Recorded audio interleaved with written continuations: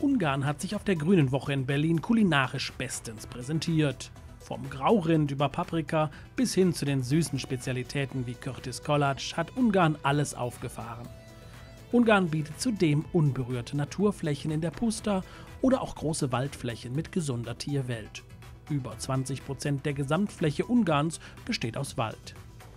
Und wer Ungarn kennt, der weiß, dass es gerade kulinarisch kaum zu toppen ist. Hier wird gesund, vielfältig und viel gegessen. Was auf einem Ungarn-Messestand natürlich nicht fehlen darf, ist dann noch eine gemütliche Czarda, in der man den ein oder anderen Wein genießen kann. Also, Eggeschegge Dreh, was so viel heißt wie zum Wohl oder auf ihre Gesundheit.